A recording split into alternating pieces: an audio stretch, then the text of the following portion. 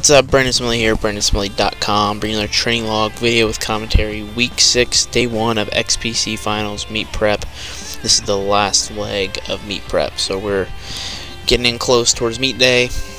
Came off a deload, feeling much better. Uh, definitely was getting the itch to lift again, uh, but the week down certainly helped.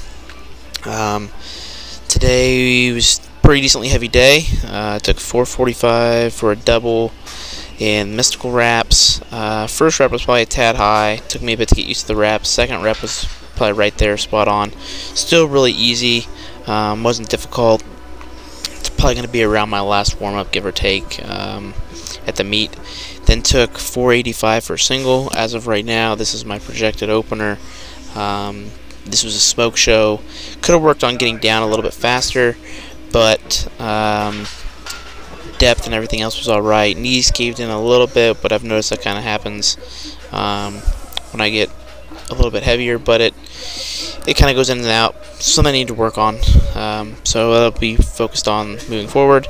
And then I took 510 with a reverse mini band um, as well, and that moved incredibly well. So um, pretty happy with that. Took 435 for two on sumo deadlift. Um, again, probably going to be around my last warm up at the meet.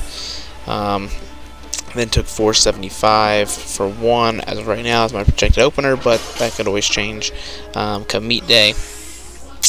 And then I took 505 off three mats, which is a hair over two inches, um, and that was the easiest 505 has ever felt that I've ever pulled anything like that. So um, no grip issues, nothing like that. I got all that figured out.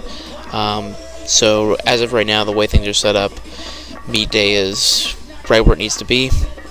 Um, then for my main supplemental stuff, I just took the yoke bar to um, a box uh, for three sets of 10 with 335. Uh, my goal here was to continue to build my hips up um, and really work on keeping my upper back locked in tight because that bar thread's 30 forward, and I did an excellent job of that. I feel like I could put more weight on, but my upper back was feeling it, and I was getting the job done that I was wanting.